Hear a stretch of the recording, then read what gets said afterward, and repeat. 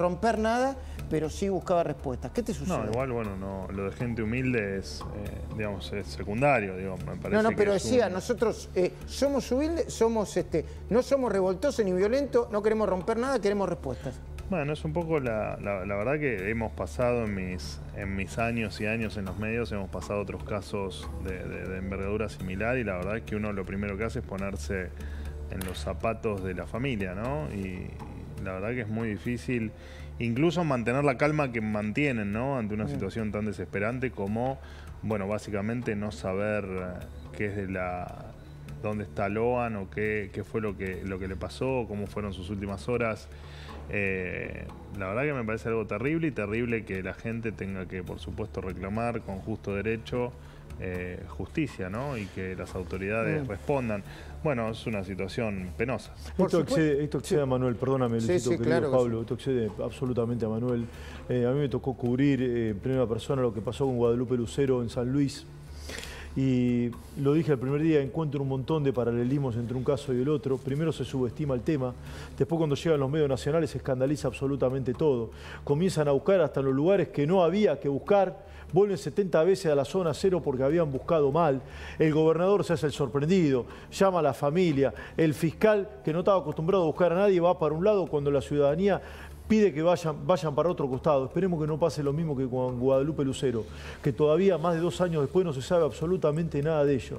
Absolutamente nada. Han pasado seis noches. En seis noches es altamente imposible de que un nenito pueda sobrevivir en estos pastizales, en este monte correntino, más allá de las que te- las temperaturas acompañan. Son La- casos, son yo recién me, Casos testigos recién me escribía con un abogado, periodista, amigo mío, que, con el que hemos cubierto muchos casos policiales también, eh, eh, y, me y le decía, es el manual del realismo trágico latinoamericano y argentino, porque se repiten los parámetros que está planteando, Sí. como el caso de Guadalupe eh, Esteban.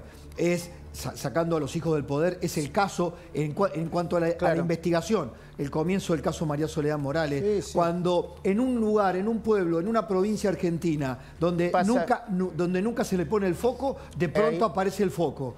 Y, y se, uno empieza a darse cuenta que se hizo casi todo mal. Fíjate desde, lo que pasó el en minuto Tucumán. uno. Fíjate lo que pasó en Tucumán, donde, donde Tucumán, la- no digo todos los medios, pero muchos medios, a lo que pasó con Alperovich, lo pusieron abajo, abajo, abajo. Tenía que comunicarse con medios nacionales. La desesperación de la Sí. gente para que no se vayan los medios nacionales. Sí, de lo mismo pasó en San Luis, Rosy. Eso- Lo mismo, lo mismo. Lo mismo. cuando pueda San Luis Gasulla, Sí. que tiene nueva información, cuando podamos. De- Dejame otro dato, Luisito, Por favor. y, y, y Sí, perdona y- que venga tan arrebatado porque hay un montón, hay un montón de información. Está la sensación clara y acabada de que nadie está investigando con seriedad. ¿sí? Una, eh, un grupo de entusiastas vaquianos en calzoncillos metido en un pantanal con un palo, dantesco. El fiscal que dice, che, se perdió el nene, Sí. se perdió, se perdió. Y todo, y esa imagen recor- recorre todo el país, ese- esa imagen de los vaquianos con cariño y amor, pero haciendo eso, lo que, cual muestra una precariedad absoluta y astronómica del día uno. Yo lo quiero, lo quiero ir eh, eh, pasando. eh, cuando haya más información, lo llamamos a Nacho, Luis Gasulla, estamos muy atentos a eso. Lo quiero ir pasando a Manuel, porque varias veces hablamos esto con Manuel, desde antes de que fuera vocero. Hay un deterioro acá, social, cultural, de las autoridades, que cuando suceden cosas como esta, falta mucha. O sea, acá un desastre de años donde nada funcionaba, ni la policía, ni la justicia. Entonces, es muy complicado cuando suceden cosas como esta, empezar. No estoy justificando a nadie, pero hay algo de lo cultural y de lo político que también tiene que ver con esto, ¿no, Manuel?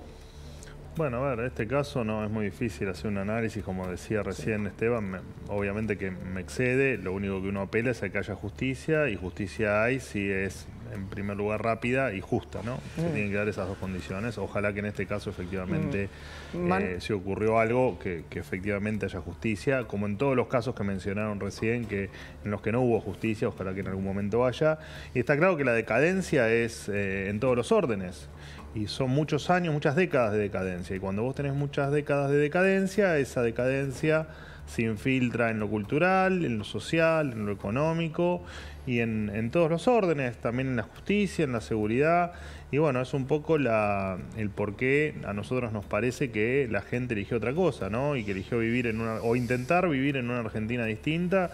Y es lo que esto sí me corresponde a mí, es lo que mm. vinimos a, o es lo que estamos intentando hacer desde el 10 de diciembre, ¿no? Cambiar esta decadencia que, en la que además nos acostumbramos, ¿no? Parece eh, parece increíble, pero, pero uno tiene la sensación que se fue acostumbrando a vivir en la decadencia y en que nada funcione, ¿no? Que vos sabés que la justicia no funciona, que las fuerzas de seguridad no funcionan, que la economía está mal, que había inflación permanente. Bueno, uno se fue acostumbrando a vivir en una Argentina deshecha, desordenada y empobrecida. No, y además bueno, hay que cambiar esa lógica. En la gestión y el gobierno todo el tiempo tiene que dar datos eh, diariamente porque hoy lo hablamos con Esteban y con Pablo en, la radio, ¿no? Esta doble vara, ¿no? Y con todos los temas, ¿no? Eh, eh, el, tema de, las violaciones, que algunos son los peores violadores del mundo, de otros no se hablan, o de la pobreza. Es como si la pobreza, para muchos sectores, Adorni, es como si la pobreza hubiera empezado eh, en diciembre del 2023 que antes hubiera sido esto. Lo hablamos hoy con Esteban, ¿no? Este, no, pero además hay otro tema. no sé, este, Dinamarca, y empezó la pobreza en 2023, incluido, lo decimos nosotros, ¿eh? algunos curas quineristas, ¿no? Villeros que están jugando un partido claro, ¿no? Claramente. No, pero eso está claro, digo, acá hay una, para un sector de la, de la vieja política, hay una argentina que nació en el 2003 y murió en el en el, 2000, en el 2023 y a partir de ahí parece que empezó, empezaron las desgracias, ¿no? Está bien, es difícil justificar 20 años de atrocidades que se han hecho en materia económica y en materia social, entonces es muy fácil cuando alguien viene a corregir y a mostrar y a decir, señores, miren que acá había determinadas cuestiones barridas debajo de la alfombra, que en algún momento las íbamos a tener que sacar debajo de la alfombra y que nos mandamos una fiestita que en algún momento íbamos a pagar y la tenemos que pagar y la estamos pagando, es increíble cómo le siguen, siguen intentando mentirle a la gente con esta cuestión de que todo ocurrió a partir del 10 de diciembre, ¿no? Como si eh, no solo la, temas económicos, digamos, terminamos con 211% de inflación el año pasado, pero acumulamos en los últimos cuatro años más de 1000% de inflación, parece que se olvidaron, parece que se olvidaron que nos encerraron un año y medio, parece que se olvidaron que cerraron las escuelas un año y medio, parece que se olvidaron que efectivamente eh, la Argentina la devastaron a, todo, a todo nivel, parece que se olvidaron del vacunatorio VIP, parece que se olvidaron de sobreprecios en lo que uno agarraba. Eh, bueno, parece que tienen memoria de corto plazo. es una pena, ¿no? Porque la única manera de tener memoria de memoria que sirva no es solamente recordando los 70, es también recordando qué es lo que tanto hicimos mal para estar como estamos y qué es lo que hay que cambiar para efectivamente llevar a otro plano a la Argentina. ¿Crees que se monta o se siembra una, una semilla para tratar de hacer ver que el gobierno del que formas parte, que encabeza Javier Milei está emparangonado con el autoritarismo, la dictadura, la represión, un gobierno hambreador y demás. ¿Crees que hay una suerte de semilla que se va sembrando en un lugar para tratar de sostener eh, ese relato y para horadarlos?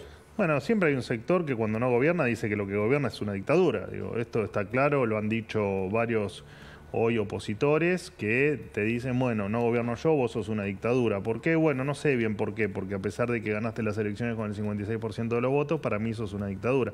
Bueno, es un poco la lógica de un sector rancio que atrasa y que y que estamos haciendo todo para que no vuelvan más a gobernar en la Argentina. Y es un poco el mensaje que les dio la sociedad. Lo que pasa es que no hacen la lectura del el mensaje que les dio la sociedad. Ellos piensan que efectivamente, bueno, la sociedad se equivocó, que la sociedad en realidad no quiere un cambio y que ellos en tal caso son los salvadores del pueblo. Y la verdad que lo único que han hecho es meter a la Argentina en un laberinto de pobreza, de miseria y de atraso. Eh, lamento que, en lo personal esto ya te lo digo, lamento que haya un sector, por suerte minoritario de la sociedad, que todavía les crea, ¿no? Eh, Manuel, en relación a esto que estás diciendo y lo que planteaba Esteban, de, la imagen que se busca este, construir el gobierno, Sí, que de hecho me gustaría saber cuál es el ejemplo de que somos dictadores, ¿no? Porque me parece que si hay un gobierno que no es dictador es este. ¿Por qué, hay ruido, eh, ¿Por qué hay ruido en torno a la libertad de prensa? En, concreto, por ejemplo, a la no renovación de una acreditación a una colega como Silvia Mercado, que en algún momento fuera crítica del gobierno y tuviera algún entredicho con el presidente, o las ya, eh, ya famosas, digo, o clásicas embestidas del presidente con algunos periodistas. Bueno, ahí te puedo responder con ejemplos o te puedo responder con realidades, así que voy a mezclarte un poco de las dos.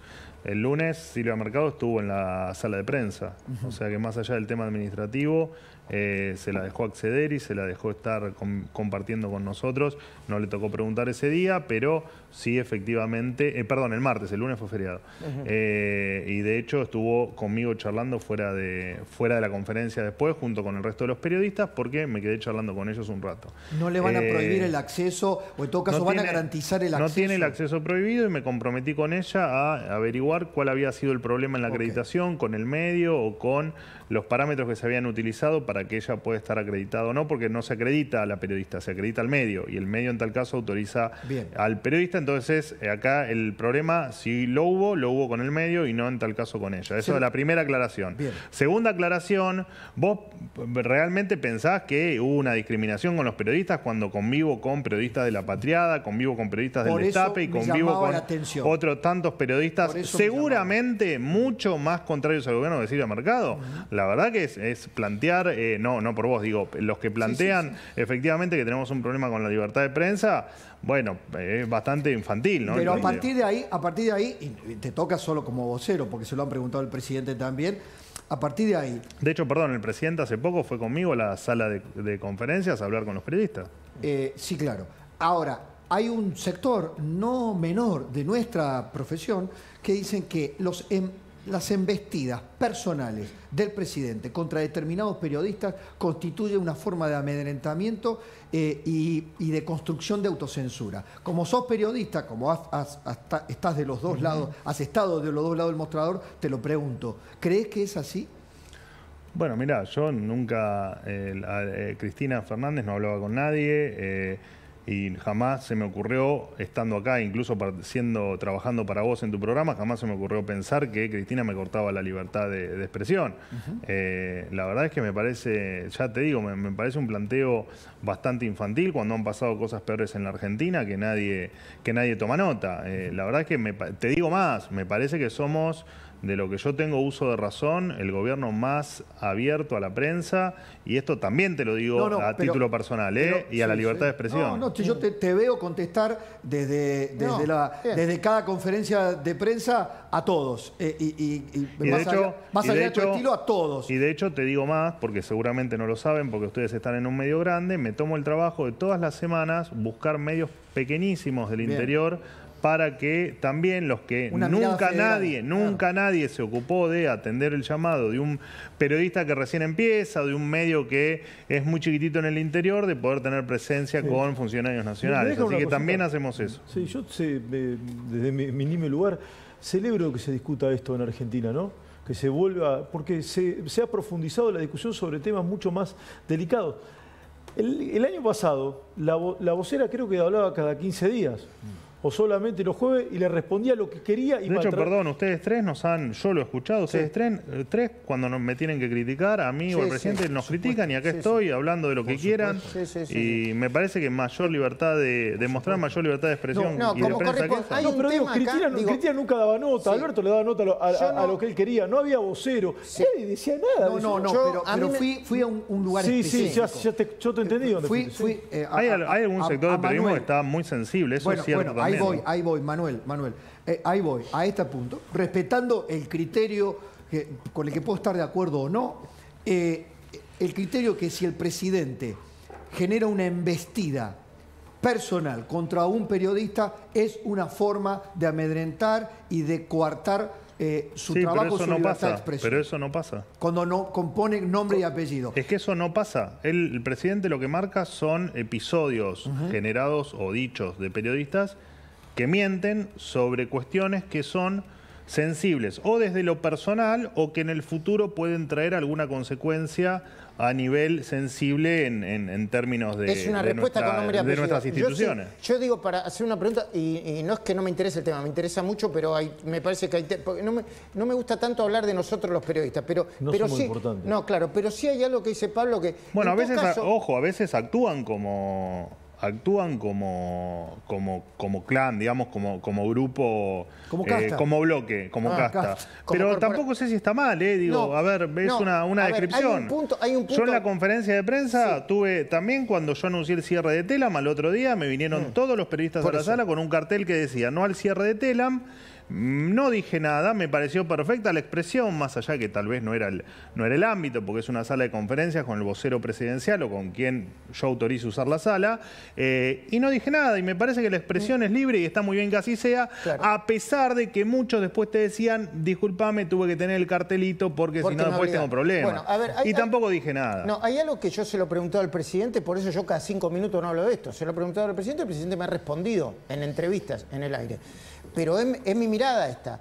La desproporción, lo que se discute es la desproporción. Si un presidente, cualquiera sea, le contesta a un periodista o a una persona, yo no hago diferencia. Por eso, ¿eh? entonces Eh, eh, hay que permitir que un, no, y repito, ¿no? No, esto no, no, es con no. usted, digamos, sino con los ejemplos que uno pueda suponer, pueden decir cualquier cosa, total, No. les podemos contestar por una cuestión de, de que uno tiene más poder No, que yo usted. tampoco digo eso. Es una mirada, es una mirada. Eh, a ver, cualquiera tiene derecho a responder, cualquiera, sea el presidente o no. Ahora, si, si yo, Luis Majul, no importa, yo, Luis Majul, he criticado a, Cristina cuando le decía al señor de los 10 dólares, el viejito Amarrete, y, y me pareció una desproporción de, de- de un, de un jefe de Estado contestarle a un ciudadano a pie. Y perdón, ahí nos operan con mentiras todos los días y sin embargo en muchas también consideramos que son parte del, del show que arman algunos y, y repito, no es con, con ustedes, digamos, sino de los casos que estamos hablando. Ahora, que tiene de mí han dicho de todo. De Sí. mí han dicho que tengo una hermana Sí, sí, como sí. secretaria de Estado, no tengo ni hermana. Han dicho que cobro 5 millones de pesos, no es así. Y han dicho tantas barbaridades de mí como de otras personas. Y hay Bueno. temas muy puntuales. Eh, a mí, si, me- si mentís con algo mío que realmente me respondés. afecta, y yo te salto a la yugular. Claro. ¿Qué crees que te diga? No me va a importar Como- nada como si soy vocero, si soy como- ministro, como si soy presidente de, de la nación. Sí, sí, Como sí. cualquiera de nosotros. Obviamente que sí. Eh, exactamente. Ahora, eh, eh, hablando de, de- de empresas, eh, ¿qué va a pasar con los medios públicos? ¿Cierran todo, no cierran todo? ¿Telan va a cerrar, no va a cerrar? Casos puntuales. Telam va a cerrar de- definitivamente, Telam se está desmantelando, va a... Bueno, ahí hay un tema que estoy empezando, los medios públicos que pasan a estar bajo mi órbita, hay un tema de, eh, de- de archivo, de datos, de, de información, de fotográfico, etcétera, audiovisual en general, que eh, creo que va a pasar a depender de...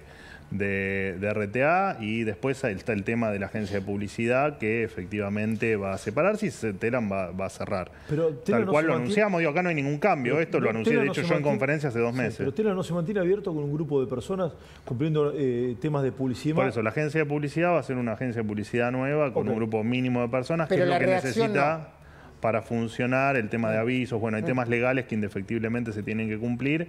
Lo que es, eh, digamos, agencia de noticias, no, eso eh, está desmantelado y desaparece. Eh, eh, se vuelve a discutir la ley bases, eh, creo que esta semana no, la semana jueves, que viene. La semana que jueves, viene, Hoy estuve hablando con, con el jefe de gabinete, Guillermo Franco, me dio todo un cronograma, lo que se va a discutir, lo que no se va a discutir. Hay una mirada ahí que dicen, bueno, es una muy buena noticia, nosotros no lo negamos. Y otras dicen, bueno, a partir de ahora, como tienen más herramientas, van a tener que empezar a gobernar y administrar finito, eh, eh, día a día. Bueno, está bien, son definiciones en, en abstracto, Políticas. digo, porque en definitiva Sí, sí. eso lo venimos haciendo siempre. Por supuesto que lo que tratamos es de hacer mucho más eficiente la gestión y creo que lo que hace el jefe de gabinete, Guillermo Francos, es efectivamente tomar todas las medidas que cree necesarias para que todos los procesos sean, sean más eficientes, en virtud que todos los ministros son de la confianza absoluta del presidente, más allá de lo que puedan decir de las versiones. Efectivamente, te lo digo que estoy en las reuniones de gabinete, somos un excelentísimo equipo y muy unido grupo de trabajo. Y, y efectivamente está bien que cada ministro tome sus decisiones de la manera más rápida, eh, más rápida y más eficiente posible. Así que con eso no hay. ¿Lo de Sturzenegger cuándo se va a anunciar eh, concretamente, Manuel? Bueno, en Sturzenegger eh, creo que mañana va a haber una reunión y siguen discutiendo a ver con- cómo con encaran el proceso de modernización. El presidente siempre habla de hitos y por supuesto que la ley bases efectivamente va a ser un hito, la ley base ya es una realidad, después faltan definir los detalles en diputados, pero está claro que la ley es una realidad. Y a partir de ahí empieza una nueva, digamos, una nueva página donde seguramente Sturzenegger, que ha colaborado eh, un montón en, la ley bases y ha colaborado, por supuesto, fue el gestor del famoso DNU, eh, efectiva, del DNU 70, eh, efectivamente va a seguir implementando lo que a él le gusta, lo que él sabe hacer y por lo que el presidente confía en él, que es la desregularización y la modernización del Estado. ¿Cuál es la idea de, la cartera que tendría a cargo Sturzenegger? ¿Sería un desgaje de, de, de Va a ser un gran desburocratizador y un gran modernizador del Estado. un Estado que funciona como hace 100 años, ¿no? ¿Va a ser una estructura ministerial? ¿Se va a crear una nueva estructura? Se va a crear una nueva estructura, no, el presidente definirá después si será, eh, por supuesto que va a tener rango de ministro, tal cual como lo dijo ayer el, presidente en, la entrevista en, uno de sus competidores, y, efectivamente va a, eh, va a dedicarse a eso, a modernizar y a desburocratizar un Estado que, te lo digo, en, lo sufro en carne propia, avanzar en determinadas cuestiones, la verdad que es imposible, ¿no? Porque los tiempos burocráticos... Sí, las incumbencias, ¿no? Tengo entendido que están... Sí, las competencias. Las competencias. A ver, es, un tema que ustedes le dieron más relevancia ah. que, lo que realmente es, digamos. Esto es algo que se viene, que se sabe desde el principio del gobierno. ¿Cuánta, cuánta, y, y que simplemente ahora es la etapa donde tenemos que avanzar en la, en la modernización, en la desburocratización más fina, Manuel, ¿a qué no sabes este número clave? ¿Cuántas regulaciones hay a nivel nacional? Y tiene que haber, eh, no tengo el número fino, pero tiene que haber fácil 70.000 regulaciones. 300.000, 280 y pico mil. Bueno, ya ahí tanto no llego. Puede, eh, puede incluir eh, niveles provinciales y municipales. ah, eso sí. Todo, todo, sí, sí, eh, ¿Fue una chicana o dijiste en serio que si Néstor Kirchner viviera estaría orgulloso de, Javier Milei? Bueno, Néstor Kirchner, no, no, si, no sé cómo sonó, si sonó chicana o no. Fue una, simplemente hizo una descripción de lo que... Chicana. Bueno, Néstor Kirchner, Néstor Carlos Kirchner, nuestro ex presidente de la Nación, dijo que efectivamente el equilibrio fiscal era fundamental y el equilibrio de las cuentas tanto nacionales como provinciales era, era, eran clave, ¿no? Y durante dos años tuvo. Y eh, efectivamente, creo que con lo que estamos haciendo, eh, el expresidente con una Néstor gran Kirchner. Con una gran diferencia. Néstor Kirchner no hizo el trabajo sucio. No, no, igual, igual, igual a ciencia cierta, nosotros, eh, en términos de equilibrio de cuentas públicas, eh, por supuesto que somos ampliamente superadores a lo que pudo ofrecer Néstor Kirchner, simplemente porque básicamente no pagaban la deuda. Entonces, su equilibrio financiero era. bueno, no estaba contemplado el pago. No, pero, perdón, el tiempo, el tiempo Por eso es que estaría orgulloso, ¿no? Porque nosotros lo hicimos mucho mejor. Pero solo para poner en contexto, el tiempo virtuoso del Néstor Kirchner de los superávits gemelos fue el tiempo en donde ya le habían hecho el trabajo sucio Remelenikov y Labaña. ¿no? Cuando sí, sí, pero, pero además de. Bueno, eso vino, eh, obviamente vino con una crisis anterior que es la que vos decís. Claro, le toca Pero además de eso, además de eso no pagaban la deuda. Claro. Pero además no pagaban la deuda, o sea que el superávit era relativo. El nuestro es un superávit real. Pagando deuda. Eh, aprovechamos al economista. Eh, el presidente dijo más de una vez últimamente, vos también lo dijiste, que en algunos sectores los salarios están aumentando, el poder adquisitivo está aumentando, incluso las jubilaciones están aumentando y que la erogación para las políticas sociales están aumentando de manera real. ¿Nos contás si es, por bueno, qué lo, de la, lo de la política social es, digamos, es, mucho más claro que lo otro, porque claramente lo que se hizo con el aumento de la UH, siempre relacionado con la inflación. ¿Y la eh, tarjeta? Alimentar. La tarjeta alimentar, la ayuda escolar, la ayuda a la clase media en relación a los colegios, a la cuota de colegios privados. Eh, el plan Mil Días, etcétera, etcétera, etcétera, todos le fueron ganando con creces a la inflación eh, y de hecho crecieron... Eh, Tres veces. Prácticamente el doble que lo que aumentó la canasta, la canasta básica. Un 60%. para poner un, marco de referencia. Así que lo de la ayuda social está, está claro.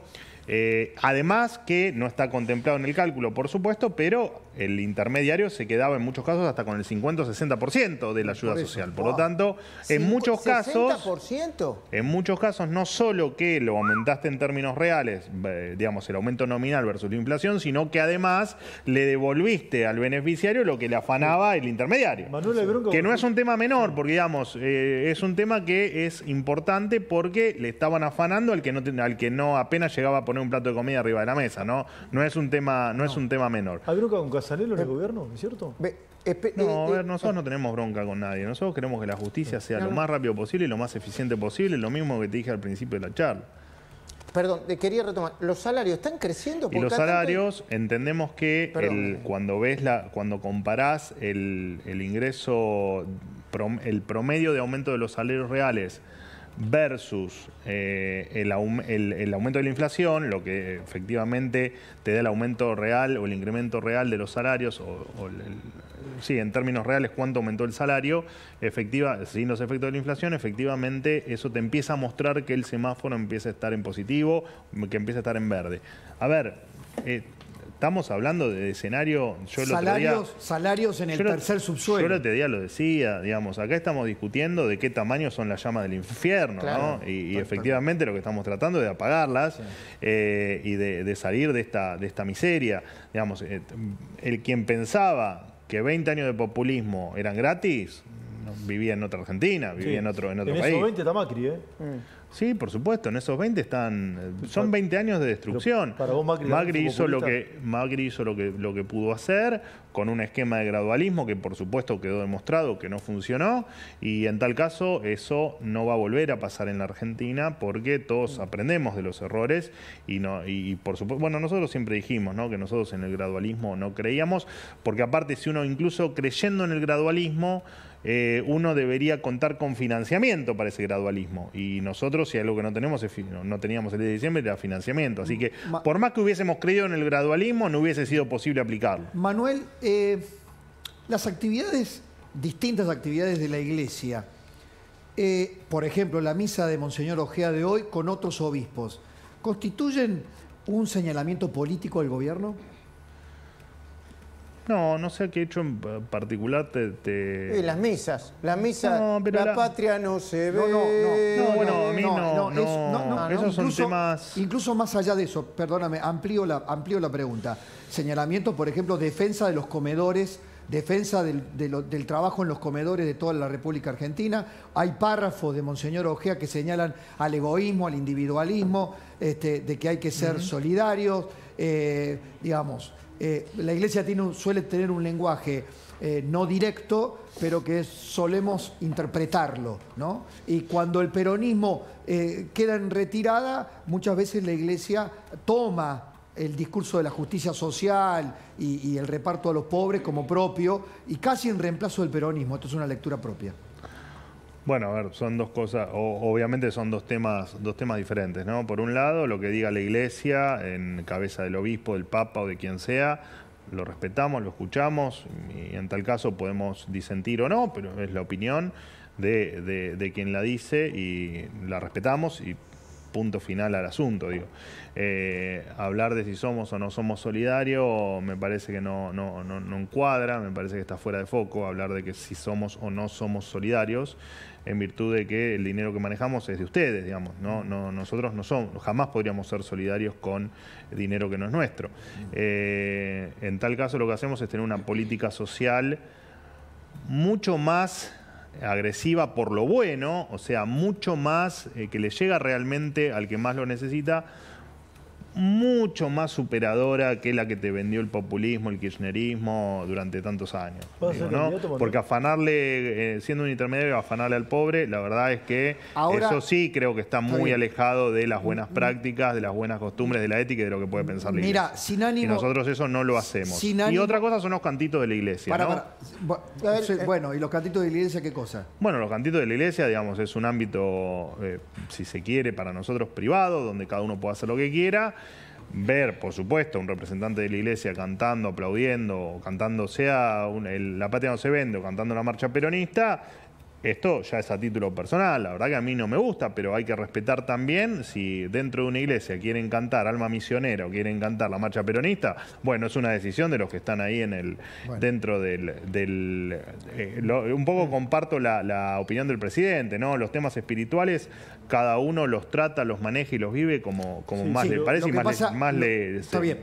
Lo que pasa que en el tema de la comida, en el tema del reparto, ahí no hay temas espirituales, sino hay temas bien materiales, donde la iglesia es parte del reparto de fondos para ayuda social. Y ahí no quiero, no quiero quitar de encuadre lo que ha dicho eh, Ojea, pero ha planteado, o la iglesia en general, han planteado que está bien hacer auditorías, que está muy bien revisar, eh, pero que se deben hacer en el territorio, sin abandonar eh, la asistencia. Hay como una crítica a la metodología del gobierno. No, bueno, el tema es, bueno, ¿cuál, es la, ¿cuál sería la metodología correcta? Porque digo, nosotros lo que estamos haciendo, de hecho yo hablo mucho con la ministra Petovelo, porque en lo personal también me interesa la política social, los modos, los métodos y, cómo superar un esquema claramente fallido, ¿no? Porque si vos te la pasás así multiplicando el asistencialismo y cada vez tenés más pobres, algo mal hiciste, así que me parece que en muchos casos hay que llamarse a la reflexión por lo que uno ha hecho en el pasado. Pero dicho esto, eh, efectivamente nosotros seguimos trabajando en eliminar cualquier tipo de intermediario porque no hay nada mejor que la ayuda le llegue directo, directo, directo al que la necesita. ¿eh? ¿Incluyendo la iglesia? Todo intermediario, ¿Incluyendo todo, la iglesia? Todo intermediario te genera algún tipo de ineficiencia. Por supuesto que en el medio habrá colaboradores y habrá gente que hace un excelentísimo trabajo, un trabajo desde la decencia, desde lo, desde lo ético y desde lo moral y desde el querer ayudar, sea por temas espirituales, sea por temas de solidaridad, por lo que demonio sea. Ahora, eh, nosotros estamos en un trabajo de que la ayuda le llegue directamente a quien le tiene que llegar. Todo lo demás para nosotros está, eh, está de más porque ha generado en el pasado, y hasta no hace mucho, bueno, un montón de. ha tenido unas implicancias negativas, porque te mm. recuerdo, pues siempre hablamos del intermediario que se queda con una parte del plan social, pero también te recuerdo que en lugares como Chaco hubo gente que cambiaba planes por sexo o cambiaba a medicamentos oncológicos. Parece que eso lo hemos, se olvidó rápido, ¿viste? ¿Vas a ser candidato el año que viene? Bueno, no lo sé, falta un año. Te ha hecho el presidente casi candidato no, bueno, pero al presidente le preguntaron y el presidente siempre, yo de hecho después desde del programa le agradecí las palabras como lo hago siempre, que tuvo para conmigo al aire eh, en la nota y la verdad es que yo voy a estar donde el presidente me lo pida. Si es acá, seguiré acá. Si es yéndome a mi casa, miré a mi casa. Si es siendo ministro, seré ministro. Y si es siendo candidato y el presidente cree que es mi mejor lugar. Eh, pero de todas maneras yo hoy estoy feliz donde estoy y con lo que estoy haciendo. porque no soy solo el vocero, aclaro, porque hago todo otro montón de ¿Candidato por la provincia o por la ciudad? Capital. Y yo soy de la ciudad, ah. supongo que el uh, presidente... Uh, metimos el título. No, no, yo soy de la ciudad, vivo en la ciudad. Es de Racing, y, de Racing. Y aparte me parece que el, propio, el, propio presidente eh, ayer eh, me parece que hizo referencia a que en provincia... Esper dijo. Esper dijo, así que y, y Esper creo que coincido, acá me estoy metiendo en temas ya de opiniones personales, pero creo que Esper efectivamente es un candidatazo. ¿Sos de Boca o de Racing? Porque acá dice la, ¿Y por qué de Boca o de Racing? No, porque para mí sos de Racing. No, no, soy de... No, soy de Boca, pero no sé ni, ni quién es el técnico de Boca. he abandonado el fútbol hace un cuarto de siglo, muchachos. Quiere, quiere, ser preciso. Yo sigo otros deportes. Sí, eh, eh, no tenemos tiempo ahora, pero eh, en un momento, el Día del Periodista, hicieron un video de la vocería que estaba recontra bueno. Estuvo genial, ¿o no? divertidísimo, donde preguntaban todos, se divertían. genial, y aparte me llevo muy bien con los periodistas de Te llevas bien, ¿no? sí. muy bien. Tenemos, una muy buena relación con algunos seguramente. De hecho, eh, hay muchos de... Hoy tuve con gente de medios tal vez no más afines a lo que digo la patriada ni hablar, pero digo, está, hay otros medios que no son tan afines, página 12, Digo, y sin embargo, me llevo, me llevo, hay, hay periodistas de ultraizquierda, y sin embargo tenemos una relación maravillosa. Yo si tuviese plata y una productora haría un documental de los. Se lo dije hoy. ¿Con qué? ¿Con qué? Con, con las conferencias con, la, conferencia de Bueno, convengamos que es bastante novedoso lo que estamos haciendo en materia de comunicación y de, vocería. Eh, una última pregunta. No me robe eh, la idea, Majul. No. Se fue mía la idea. ¿Qué tiene que predisponer? Pero después hay que hacerla. No, bueno, una última pregunta. El eh, presidente viaja, ¿no? Eh, ¿va, a volver, eh, ¿Va a volver el lío con Sánchez, con España, eh, porque viaja a España? está bien, viaje a España, un viaje que ya tenía planeado previo a, la- a su debate personal con, con el presidente de España. Digo, a ver, también hay que bajarle el tono a algunas cosas. Me parece que eh, podemos olvidar el, el- la- la- el papelón que hizo el presidente de España, me parece que podemos dar vuelta a la página. Mm.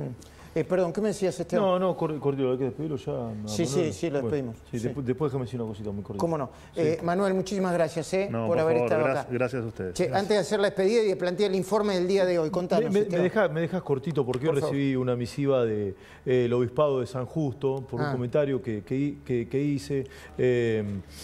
Mm, Monseñor Eduardo García dice que yo lo malinterpreté y lo saqué de contexto. Bueno, si él lo dice, así debe haber sido, es decir, cometí un error en malinterpretar ¿sí? a Monseñor Eduardo García, obispo de, obispo de San Justo. Le mando, le mando un abrazo y si quiere venir acá, tiene la puerta abierta, ¿no? Por supuesto, sí, todo el mundo tiene las puertas abiertas acá, incluida Cristina. ¿eh? Sí. Algún día, se, cómo no, Máximo Kirchner, cualquiera. Eh, eh, eh, cualquiera. Gracias, Pablo, gracias, Esteban. En-